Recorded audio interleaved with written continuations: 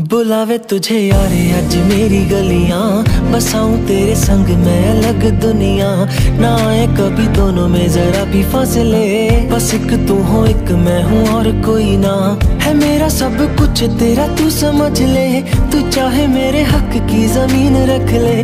तू सांसों पे भी नाम तेरा लिख दे। मैं जीऊं जब जब तेरा दिल धड़के।